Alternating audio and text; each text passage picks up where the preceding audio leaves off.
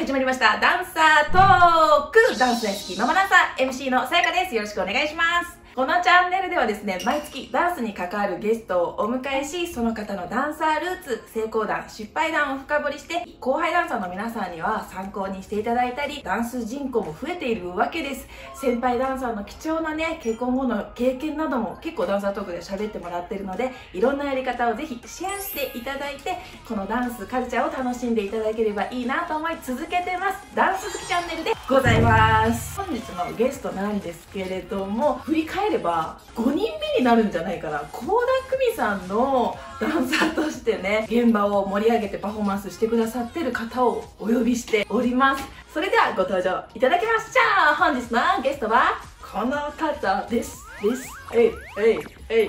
本日のゲストは、あかねです。あかねイエーイかわいい久しぶりやねんな。めちゃくちゃ何年ぶりですかね。だコロナ禍は会えてないね完璧。そうですよね。完全会えてないえだねからもう多分23年以上は会ってないってことですよね。やだ。再出世しててその間に。いやいやいやそんなことないですいや 私はねありがとうございますと伝えたいことがあってですね。何ですか？いやもうコロナ禍の時さ私もあの時もなかなかメンタル込みまくってたわけですよ私。ほやっぱり子供がね2人いて、うんうんうん。でなんかお兄ちゃんのね長男の卒園式はいがはい。もう在レギュラーの卒園式の子だったの。卒園式と入学式が。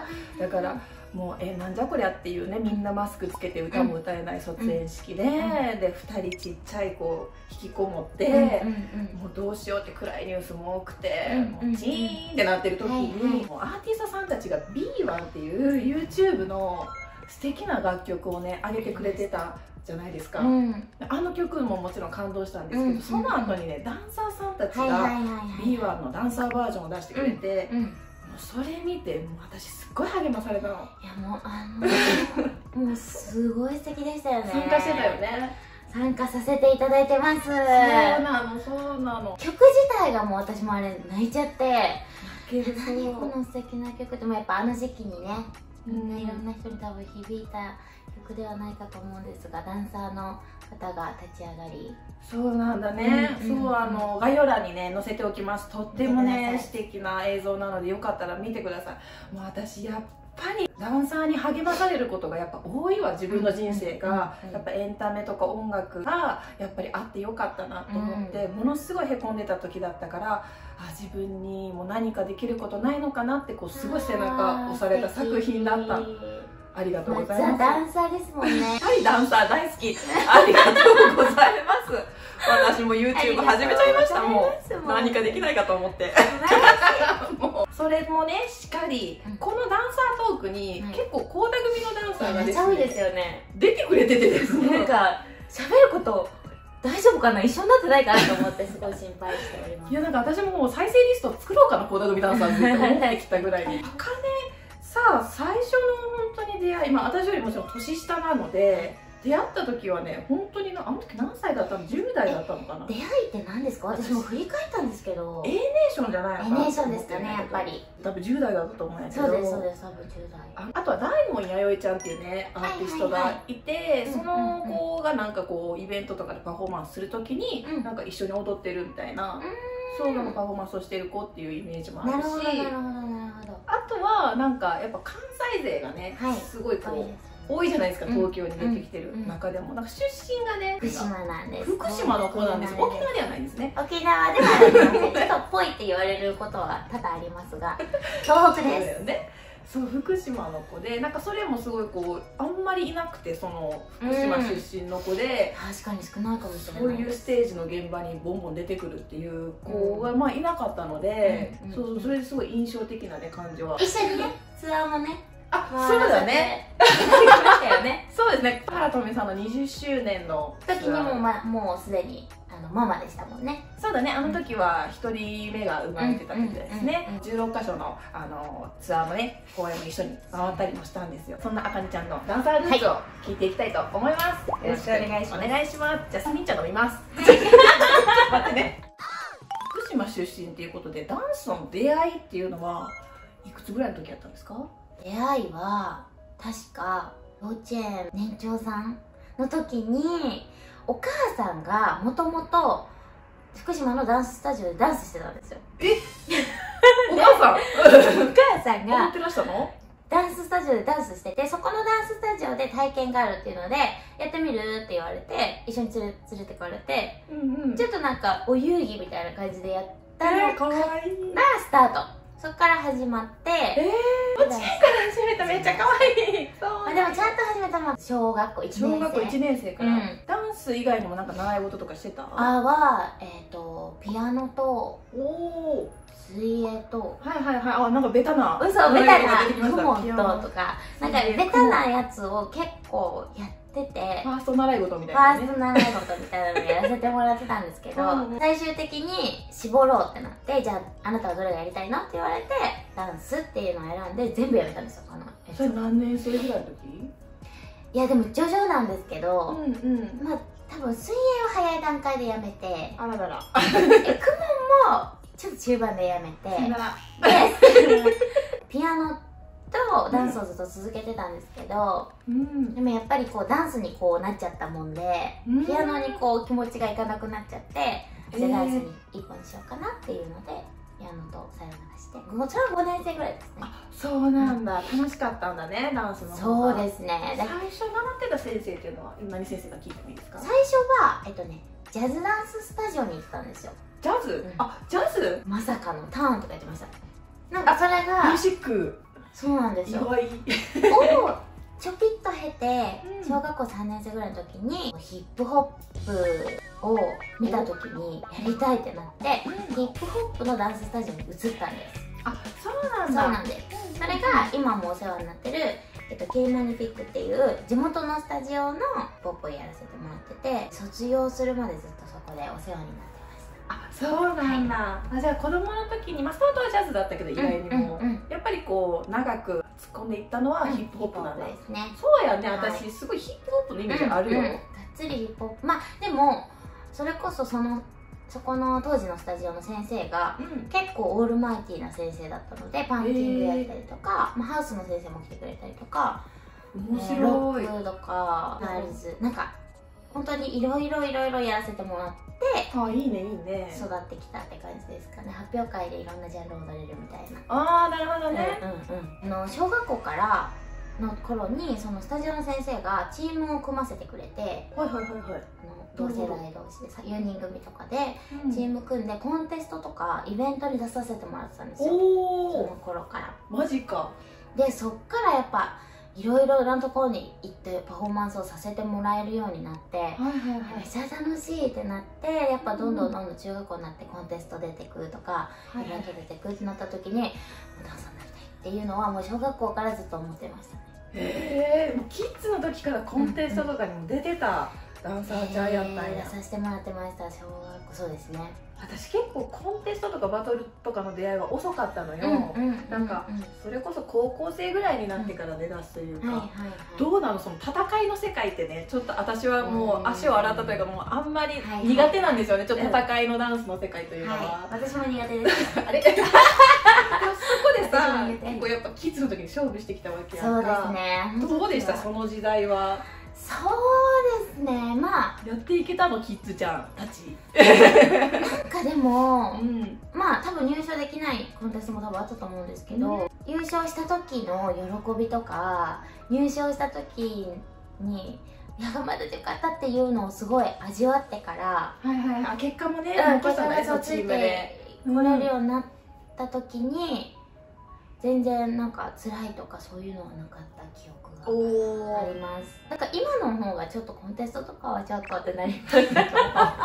ちょっとってなりいやでもそのコンテストってねやっぱ優勝者は1人ですから、はいはいはい。大半のチームはもううん。9割落ちてやっぱ泣く子たちじゃないですか、もちろん。もちそこを経験したキッズ時代やったってことやね、本当ありがたい経験をさせてもらったなって本当に思っております。そういうのを乗り越えるとね、うん。乗り越えれるとやっぱ上手くなるよねね。強くなるよね。あとはもう本当に上手いダンサーをそそこで見れるのであそれこそ地方に住んでるけどダンサーアタックとか出るために東京出ますとか大阪出ますとかで行った時にこんな上手いダンサーいるんやっていうのをちょっと目の当たりにしたりとかあと刺激をもらったりとかそこでめちゃくちゃ仲良くなってじゃあもう一緒に踊ろうかってなったりとかもできたのでやっぱその出会いはすごい大きかったのかなって思います。そっか、うん。ダンサータッグめっちゃレベル高い。いやもうあの登竜門みたいなコンテストですね。ねいくらこいたんちゃう？だからそれこそ福島から、うんもうそういう都会のねダンス、うん。キッズダンサーの子たちうまいじゃない、うんうまいですよ。ねえ、うん。それを味わったんよね。そうなんです。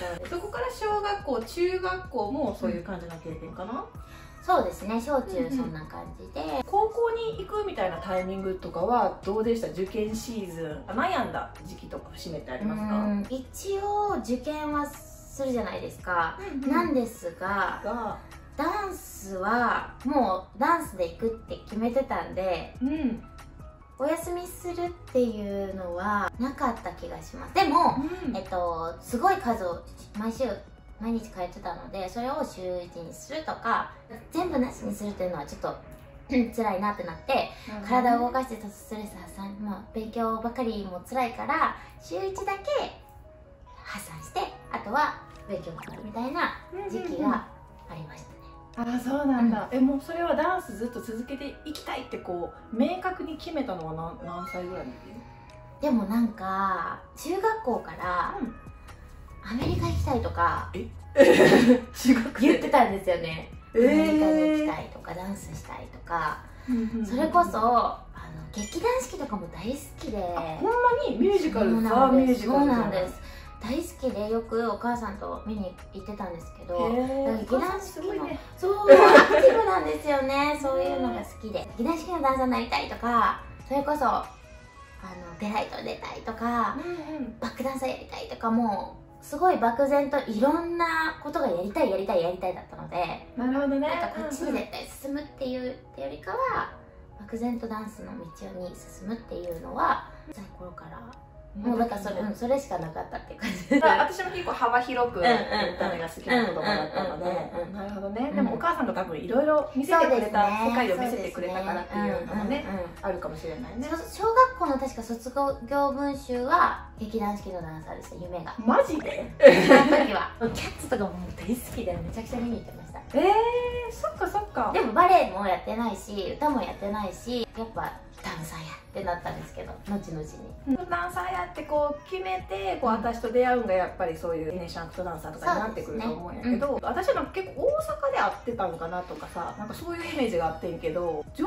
京したタイミングっていうのはどこになってくるんですか？上京したタイミングはですね、まず高校卒業してアメリカに行きます。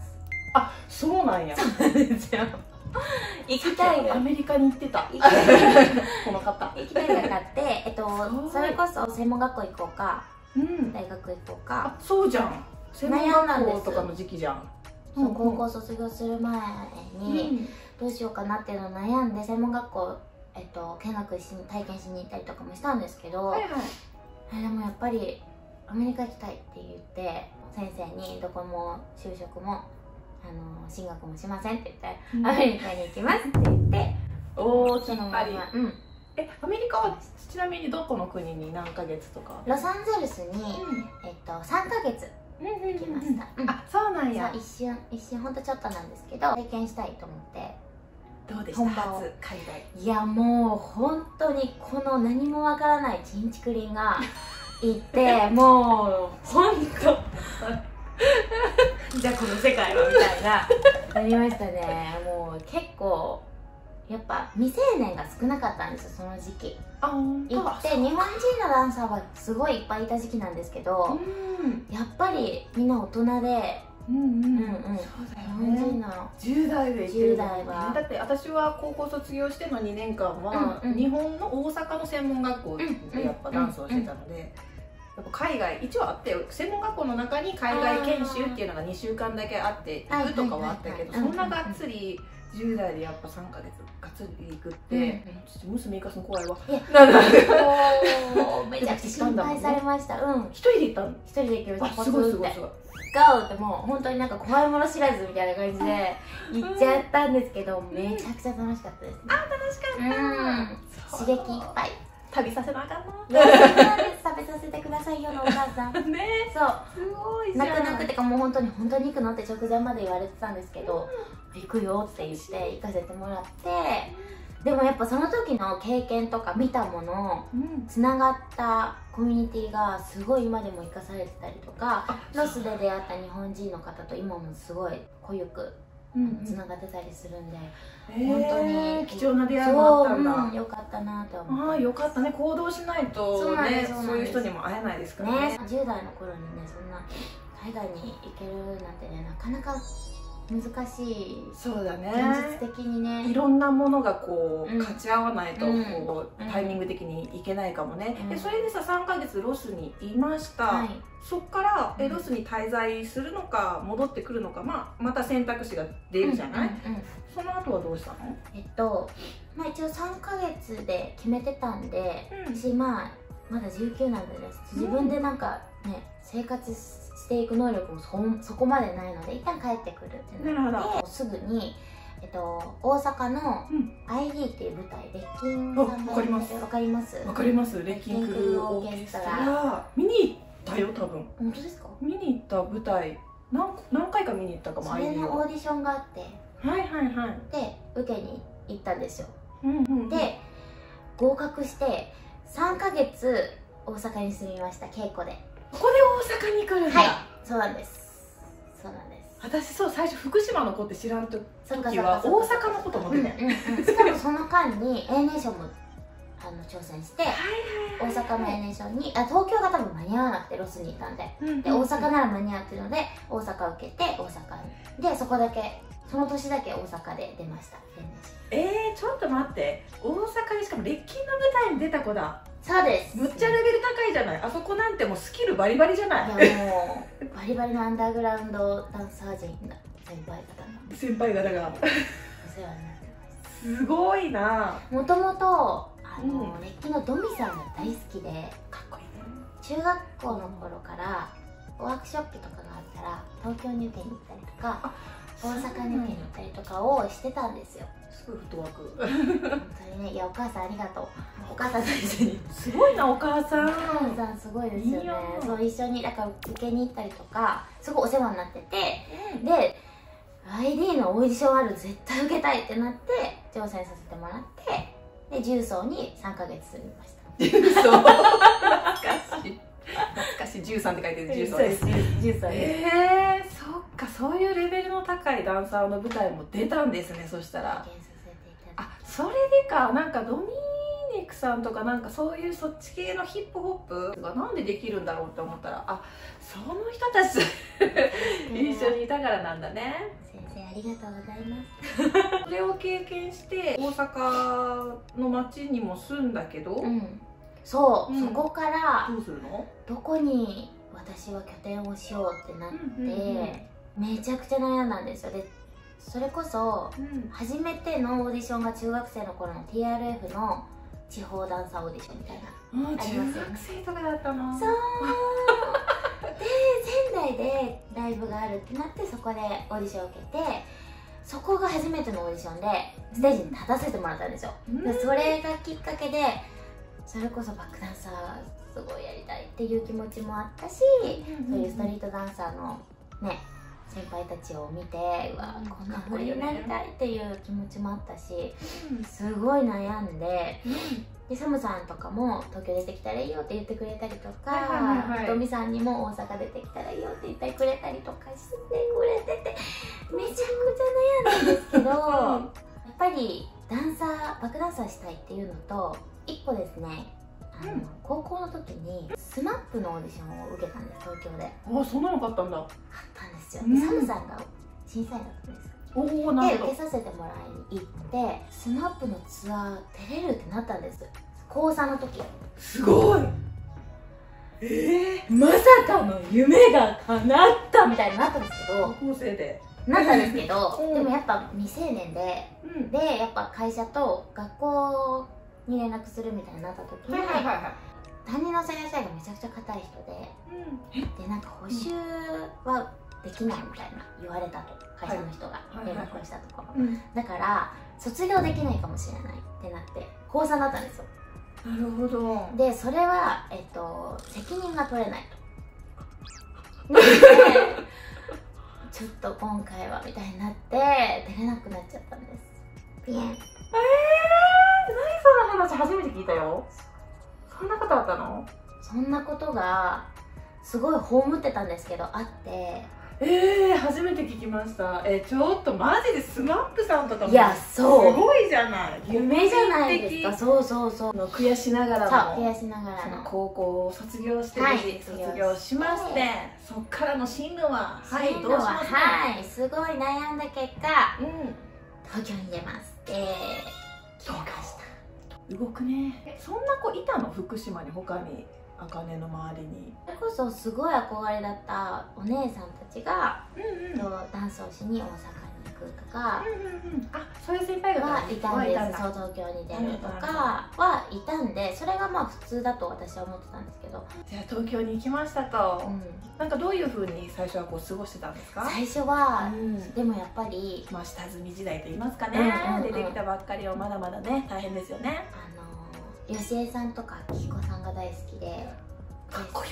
難しいレッスンにまた。ス ID とかもつながって2人とも出てらしたね。でつながってなるほど。行かせてもらってでそこからもやっぱり先生に習ってるっていうのもあるんですけどチーム組んでコンテストでえっと、挑戦したりとかおおなるほどね。うん。あのバトル出たりとかそっちを結構何年間かはやってたんです。へあのえ昔でいう安田ビルとかで CM をはいよく、わかるわかるわかります、うんうんうんうん。周りでしょっちゅうやってましたね、へえうんうん。どんだけ馬なりたいのよ。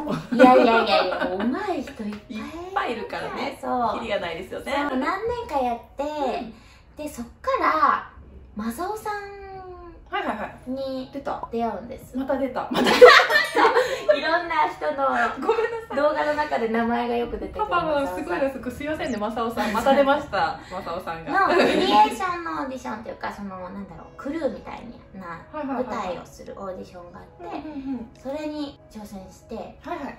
で仲間入りさせてもらうんです。そのあ正雄さんのクちょっとじゃあなんかこうちょっと小要素があるうんそうですそうですそうです。うん。そこで舞台やったりとかその仲間内でおかわりっていう舞台やったりとか、うん名前がめっちゃ可愛い。おかわり、はい。そう面白いよね。正雄さんの演出って結構バラエティーに富んだ。幸田さんの結構ライブも なんかお笑いみたいなうんネタをすごいお挟んででもすごいかっこいいねそう振りもあるしもしつつ3年間ぐらいでこうバトルとかコンテストとかを経て22歳かな正雄さんに出会って、正雄さんにねレッスン行こうってなったのはやっぱりその倖田來未さんの演出が面白すぎた、うん、あそうなんですね。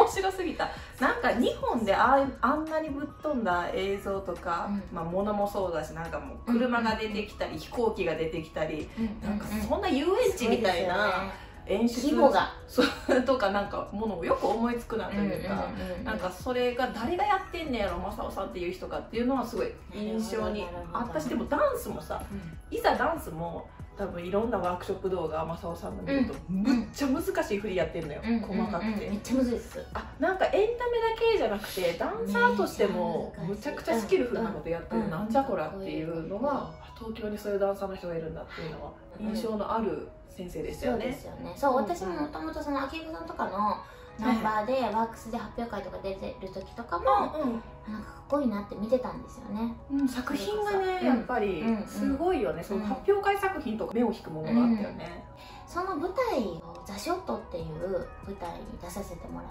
た時の振付師が舞子さんとマサさんそこで後々の幸田さんのきっかけが生まれてくるんですけど。ああそうなんだ。かっこいいじゃない舞子さん。おおなるほどね、まあ、コネクションもうんこう東京にね、まあ、来たっていうのもあってこううんうんうん見つけて出会いながら。と幸田さんの現場の初めての経験っていうのはどういうふうになっていくんですか？初めてのきっかけが、うん。今日はここまで。次回も見てな。ほな